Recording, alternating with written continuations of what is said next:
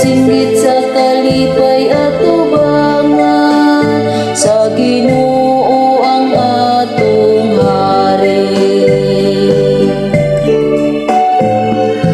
Ang tanang katawan sa kalibutan Nakakita sa karaugan sa